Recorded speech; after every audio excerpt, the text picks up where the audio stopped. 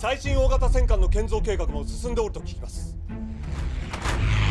図体が大きいだけの戦艦などこれからの戦には必要ない。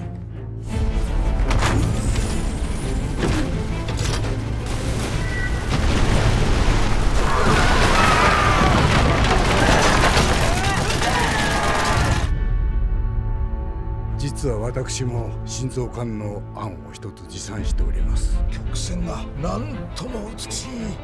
藤岡湾の建造費は9300万。彼らの戦艦は戦争への一本道だ。断ち切らねばならない。おそらくこれ虚偽の数字を出しているんではないかと。